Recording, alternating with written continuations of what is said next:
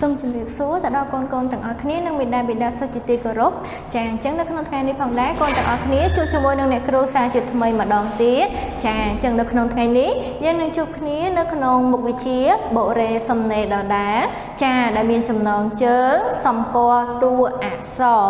ចាអញ្ចឹងកាលពីសប្តាហ៍មុនអ្នកទាំងអស់គ្នាអ្នកគ្រូបានដាក់ជាកិច្ចការផ្ទះឲ្យកូនទាំងអស់គ្នាមែនអត់ចាអញ្ចឹងតើកូនទាំងអស់គ្នាបានធ្វើកិច្ចការផ្ទះដែលអ្នកគ្រូបានដាក់ឲ្យកូនហើយឬនៅ ចាតោះអញ្ចឹងនៅក្នុងថ្ងៃនេះផងដែរយើងនឹងជួបគ្នាម្ដងទៀតចាកូនទាំងអស់គ្នានៅក្នុងថ្ងៃនេះយើងនឹងជួបជាមួយនឹងជនជនៈថ្មី ចាពាក្យថ្មីរូបភាពថ្មី ចាតោះឥឡូវកូនទាំងអស់គ្នាកូនមកតាមដានជាមួយនឹងអ្នកគ្រូទាំងអស់គ្នាតើថ្ងៃនេះយើងមានរូបភាពអ្វីមានពាក្យអ្វីមកបង្ហាញកូនកូនទាំងអស់គ្នានៅក្នុងថ្ងៃនេះចាតោះ អញ្ចឹងកូនទាំងអស់គ្នាកូនមើលរូបភាពទី1ចារូបភាពទី1ដែលអ្នកគ្រូកំពុងតែកាន់ចាតើកូនទាំងអស់គ្នាស្គាល់រូបភាពនេះអត់ចាតើនេះជារូបភាពសត្វអីកូនចាឥឡូវកូនមើលមើលតើជារូបភាពសត្វអីដែរចាល្អណាស់កូនគឺសត្វពោប៉ែចាតោះឥឡូវកូនថាទាំងអស់គ្នាសត្វពោប៉ែម្ដងទៀត សត្វពោប៉ែចានេះគឺជារូបភាពសត្វពោពោប៉ែចាតើឥឡូវអ្នកគ្រូបិទរូបភាពនេះនៅលើក្តារក្តារខៀនរបស់អ្នកគ្រូចាឥឡូវកូនបានឃើញរូបភាពអីតោះឥឡូវយើងមកមើលអំពីពាក្យចានេះគឺជាពាក្យចាកូនចង់ដឹងថាតើពាក្យនេះគេអានថាយ៉ាងម៉េចឥឡូវកូនស្ដាប់អ្នកគ្រូហើយចាំកូនអានតាមអ្នកគ្រូណោះចាអញ្ចឹងពាក្យនេះគេអានថាពោប៉ែចាម្ដងទៀត ពោប៉ែចាអញ្ចឹងអំបញ្ញមិញកូនបានឃើញរូបពប៉ែហើយចាឥឡូវយើងមកមើលអំពីពាក្យចាយើងមកឃើញអំពីពាក្យរបស់វាចាតើមានអក្សរអ្វីខ្លះមានស្រៈអ្វីខ្លះនៅក្នុងពាក្យនេះចាអញ្ចឹងពាក្យនេះគេអានថាពោប៉ែចាឥឡូវអ្នកគ្រូបិទនៅខាងក្រោមរូបពប៉ែចាតោះ គ្រូបិទហើយឯណាតោះឥឡូវយើងក្រឡេកមកមើលរូបភាពបន្ទាប់ទៀតអូចាំមើលមើលតើរូបភាពនេះជារូបភាពអីចាតើកូនមើលតាមជាមួយអ្នកគ្រូទាំងអស់គ្នា ចាអូនេះជារូបភាពអីកូនចាគឺជាសត្វដែរប៉ុន្តែគឺជាប្រភេទសត្វល្មូនចាហើយសត្វនេះគឺគេហៅថាសត្វសត្វពស់ចា កូនស្គាល់សត្វពស់អត់ចាសត្វពស់គឺជាសត្វមួយដែលកាសាហាវចាវាអាចចឹកកូនឬធ្វើឲ្យកូនទាំងអស់គ្នាមានគ្រោះថ្នាក់ដោយសារវាបានដោយសារតែវាមានមានពឹសចាអញ្ចឹងពេលដែលឃើញសត្វពស់កូនទាំងអស់គ្នាកុំទៅចិត្តវា ចាតើកូនទៅចិត្តវាវានឹងចឹកកូនវាធ្វើឲ្យកូនមានគ្រោះថ្នាក់ហើយចាតោះឥឡូវកូនថាមើលពស់ចាម្ដងទៀត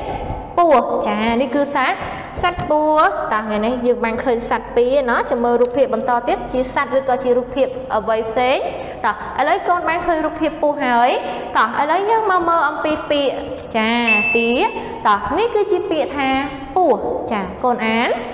ពស់ចាម្ដងទៀត ពស់ចាពស់អញ្ចឹងអំបីមិនកូនឃើញរូបពស់អញ្ចឹងយើងនឹងបិទពាក្យពស់នេះនៅខាងក្រោមរូបរូបពស់តោះឥឡូវកូនក៏លេខទៅមើល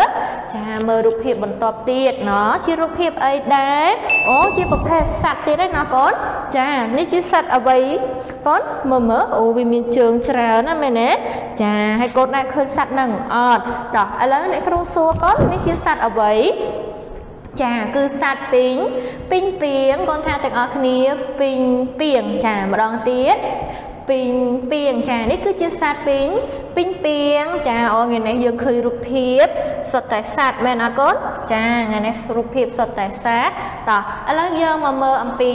ពាក្យវិញម្ដងចាអញ្ចឹងរូបភាពនីមួយៗតែងតែមានពាក្យរបស់វា ចាអញ្ចឹងពាក្យនេះគេអានថាពីងពីងចាម្ដងទៀត ពីងពីងចាកូនអានចាពីងពីងល្អណាស់កូនតើយើងបិទនៅខាងក្រោមរូបពីងពីងចាឥឡូវកូនមើលបន្ទាប់ពីកូនឃើញរូបភាពទាំងអស់នឹងហើយអញ្ចឹងអ្នកគ្រូនឹងបង្ហាញអំពីអក្សរដែលយើងនឹងត្រូវរៀននៅក្នុងថ្ងៃនេះចាអញ្ចឹងនេះគឺជាអក្សរដែលយើងនឹងរៀននៅក្នុងថ្ងៃនេះអ្នកទាំងអស់គ្នាចាកូនចាំស្ដាប់ថាវាមានឈ្មោះអីជាអក្សរអីចាអញ្ចឹងនេះគឺជាអក្សរពោចាម្ដងទៀតអ ក្សរពោចាអញ្ចឹងថ្ងៃនេះយើងនឹងសម្គាល់អំពីតួអក្សរពោទាំងអស់គ្នា ចាតោះឥឡូវកូនទាំងអស់គ្នាសង្កេតជាមួយអ្នកគ្រូទៅលើពាក្យ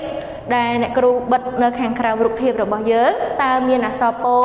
នៅក្នុងពាក្យនឹងដែរអត់ណោះតោះឥឡូវកូនមើលពាក្យទី1ពោប៉ែចាកូនមើលពាក្យពោប៉ែកូនឃើញមានអក្សរពោចំនួនប៉ុន្មាននៅក្នុងពាក្យនេះ ចាអ្នកណាដឹងប្រាប់អ្នកគ្រូចាគឺមានមាន2តោះឥឡូវអ្នកគ្រូគូសសម្គាល់ឲ្យកូនមើលតោះអញ្ចឹងនៅក្នុងពាក្យថាពពេគឺមានអក្សរពោ2ចាចំណែកអក្សរពោដែលផ្ដើមនេះគឺគឺជាអក្សរពោដែលយើងត្រូវផ្ដើមដោយពាក្យពោពោពេចុះតោះឥឡូវកូនមើលរូបភាពទី2ពោះឯណាអក្សរពោកូនចាគឺនៅចំណុចផ្ដើមនៃនៃពាក្យរបស់យើងគឺអក្សរពោ ចាមានតែមួយទេ ពាក្យថាពោះចុះពាក្យថាពីងពីងកូនមើលមើលតោះអ្នកណាអាចរកឃើញថាតើពាក្យពីងពីងមានអក្សរពោប៉ុន្មាន ចាគឺមាន2ដែរមែនទេចាគឺនៅចំណុចផ្ដើមនិងនៅកណ្កណ្ដាលនេះតោះអញ្ចឹងពាក្យពីងពីងមានអក្សរពោពោ2ឥឡូវកូនទាំងអស់គ្នាស្គាល់អក្សរពោច្បាស់ហើយឬនៅតោះឥឡូវបើស្គាល់ច្បាស់ហើយយើងមកមើលអំពី